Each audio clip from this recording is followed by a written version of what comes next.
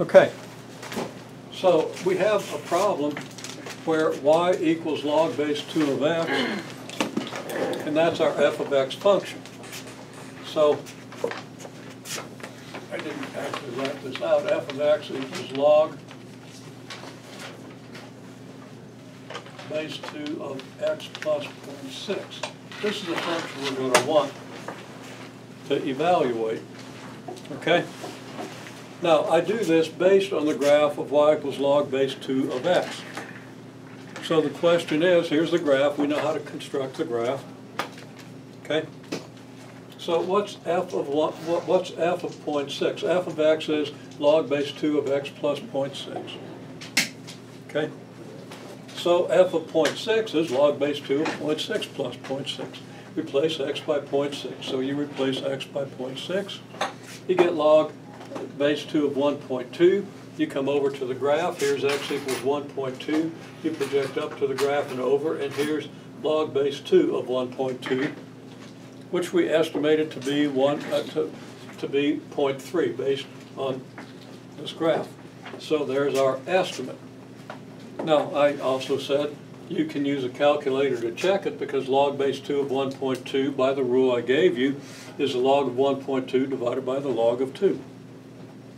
And you would have used that, I think, in your homework. So you figure that out and see how close that is to 0.3. Then you know how well I did with my estimate. Okay? Hopefully you do even better with your estimate. 'Cause my estimates aren't all that good here because hand-drawn graph, and I just sketched this curve here and then I put the axes on it and hoped that it was good. Okay? It's not terrible, but I don't think it's all that great either. If you do it carefully, you can come out with better estimates than I'm coming out with, okay? So, um, and then f of 1.6, well, that means log base 2 of 1.6 plus 6, which is log base 2 of 2.2. I go to this graph, here's x equals 2.2, here's a log uh, base 2 of 2.2. I didn't put the base 2 on there, I was already writing down a bunch of 2's and left that one off. Okay? And then that, that estimate, we came out, I thought it was between one point, it's too, too high for one point three, maybe too low for one point four, so I just went with one point three five. Okay? So that's one way of using the graph. And we're solving, we're basically, well, we're doing, evaluating a function based on our estimates from the graph. Okay. Now, another thing I can do is how does the graph of log base 2 of x plus 0.6 compare to the graph of log base 2 of x? Now you should be able to answer that very quickly. What's the difference between this and this? I've replaced x by x plus 0.6, right? What's that do to the graph? Shifts it 0.6 units in the negative x direction. Okay? That's something you simply have to know. Okay, and we've talked, we've been talking about that for most of the semester. Okay?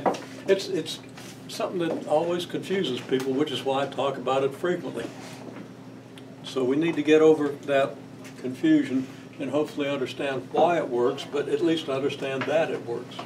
Well, all I do then is I take the graph of the log base 2 function, I shift it over 0.6 units to the left, and now if I want to find f of 0.6, I just find 0.6 and I come up here and project over. Now my estimate in this case was 0.4. Okay? Now before I said that f of 0.6 looked like it was 0.3. But that was based on this graph and the 0.4 is based on this graph and my graphs aren't exact copies of each other because I'm hand drawing them, right? And I'm not even plotting points. I'm just slopping down a log function. Well, I slopped down the log function here, and then I shifted it over 0.6 units and went through the details of how I did that and why I did that. So look at the MCR videos if you're not clear on it, because you need to be clear on it, okay? And then, uh, using the green graph, I just put in x equals 0.6. I get f of x equals 0.4, reasonably consistent with the 0.3 estimate for f of 0.6 that I got using this graph. And then the one point six, I come up and over and I get about one point three. Well, here I estimated, for, for f of one point six, here f of one point six was one point three five, right? So that's pretty close. These two estimates are pretty close. These two are also pretty close, they're within point one. But you can take your calculator and figure out how close they are. Okay? Just evaluate like we evaluated this one and see what they should have been. And then think about how the two graphs compare, the shifted graph and the original graph, and why they give you the same result. Because you shifted 0.6 units to the left.